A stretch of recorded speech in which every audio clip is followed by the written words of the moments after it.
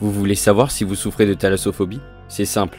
Essayez d'aller jusqu'au niveau 3 sans vous réfugier dans les commentaires. Pour rappel, la thalassophobie désigne la peur intense voire incontrôlable des profondeurs maritimes. Bonne chance.